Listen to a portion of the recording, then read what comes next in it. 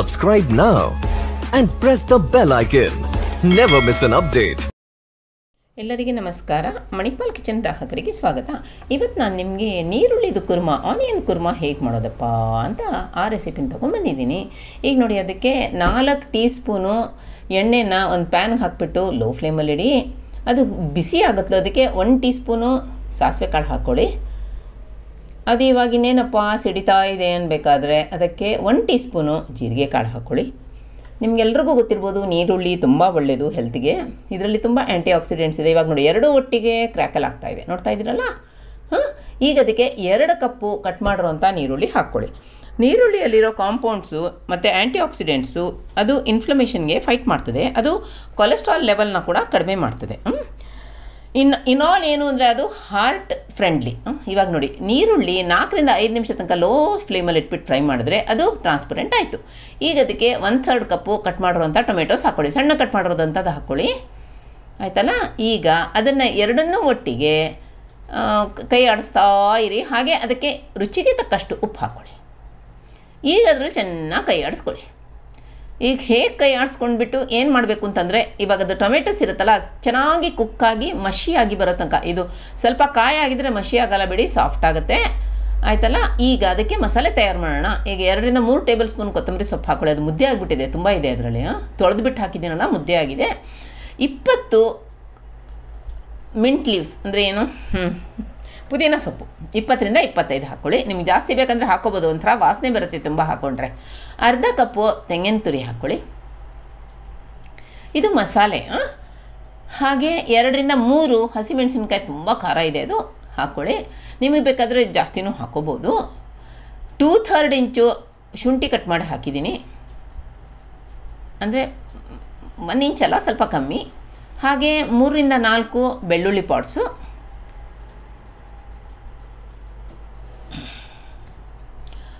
ಹಾಗೆ ಎರಡು table spoon ಗಸಗಸೆ ಇರುತ್ತಲ್ಲ, ಅದನ್ನು ನೀರಲ್ಲಿ ಮೂವತ್ತು ನಿಮಿಷ ನೆನೆಸಿಟ್ಟಿದ್ದೆ ಅದನ್ನು ಹಾಕಿದ್ದೀನಿ. ನೀರು ಸಮೇತ ಹಾಕ್ಬಿಟ್ಟಿದ್ದೀನಿ, ಯಾಕಂದರೆ ತೊಳೆದು ನೆನೆಸಿದ್ದೆ. ಮತ್ತು ಎರಡು ಟೇಬಲ್ ಸ್ಪೂನು ಹುರ್ಗಡ್ಲೆ ಹಾಕ್ಕೊಳ್ಳಿ.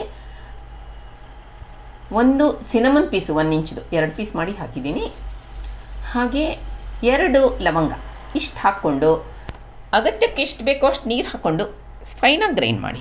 ಇನ್ನೊಂದು ಏನು ಅಂತಂದರೆ, ಈ ಇದರಲ್ಲಿ ವಿಟಮಿನ್ ಬಿ ಇದೆ ಹೈ ಇನ್ ವಿಟಮಿನ್ ಬಿ ಇದು ಏನು ಅಂದರೆ ಬಿ ಪಿ ರೆಡ್ಯೂಸ್ ಮಾಡುತ್ತೆ ಹೈ ಬಿ ಪಿ ಇರೋರು ತಿನ್ಬೋದು. ಮತ್ತು ಬ್ಲಡ್ ಕ್ಲಾಟ್ ಆಗುತ್ತಲ್ಲ, ರಕ್ತ ಕ್ಲಾಟ್ ಆಗುತ್ತಲ್ಲ, ಅದನ್ನು ಕಡಿಮೆ ಮಾಡುತ್ತೆ. ಇವಾಗ ನೋಡಿ, ನೀರುಳ್ಳಿ ಮತ್ತು ಅದು ಚೆನ್ನಾಗಿ ಬೆಂದಿದೆ. ಅದಕ್ಕೆ ಒಂದೇ ಒಂದು ಪಿಂಚ್ ಅರ್ಶನ ಹಾಕ್ಕೋಬೇಕು ಇಮ್ಯುನಿಟಿ ಅಲ್ವಾ ಅಂತಂದ್ಬಿಟ್ಟು ಹಾಕ್ಕೊಳ್ಳೋದಷ್ಟೇ ಇದಕ್ಕೆ ಆ್ಯಕ್ಚುಲಿ ಬೇಕಂತಿಲ್ಲ ಬಟ್ ನಾನು ಹಾಕಿದ್ದೀನಿ. ಈಗ ಅದಕ್ಕೆ ನಾವು ರುಬ್ಬಿದ್ದೀವಲ್ಲ ಕಡ್ದು ಆ ಮಸಾಲೆನ ಹಾಕ್ಕೊಳ್ಳಿ. ಈಗ ಇದರಲ್ಲಿರೋದು ಎಲ್ಲ ಹಸಿ ಅಲ್ವಾ? ಅದರಿಂದ ನಾವು ಇವಾಗ ಚೆನ್ನಾಗಿ ಕೈ ಆಡಿಸ್ಕೋಬೇಕಾಗತ್ತೆ ಒಂದರಿಂದ ಎರಡು ನಿಮಿಷ ತನಕ. ಅದು ಇದಾಗೋಕ್ಕೆ.